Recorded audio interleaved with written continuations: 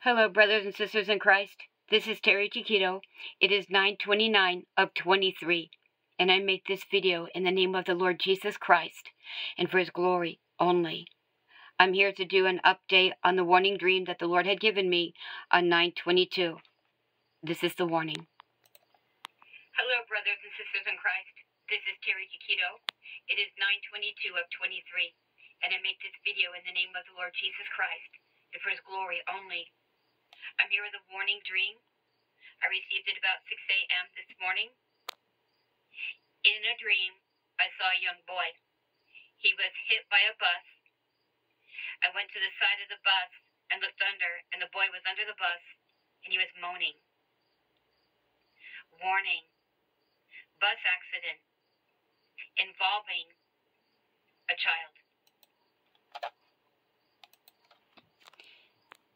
Today, there was a bus accident.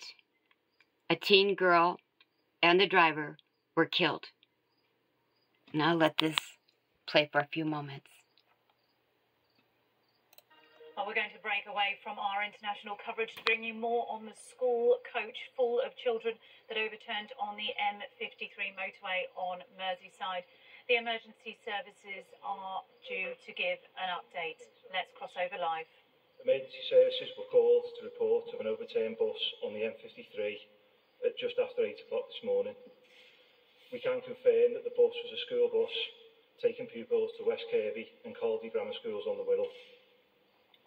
We understand there were 54 people, including the driver, on the bus, and sadly, I can confirm that the driver and a 14-year-old schoolgirl had died. I would encourage you all to please pray for these families that have lost their loved ones and for healing of those that have been injured. injured. Father, in the name of the Lord Jesus, I ask that these who have lost their loved ones, that you'd give them comfort and peace to them and their mourners.